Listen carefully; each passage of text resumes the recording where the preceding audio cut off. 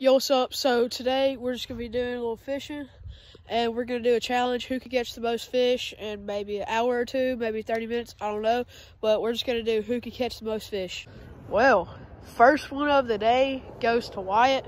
It's a little small one, but hey, at least it's one for you. So you have one and I have zero.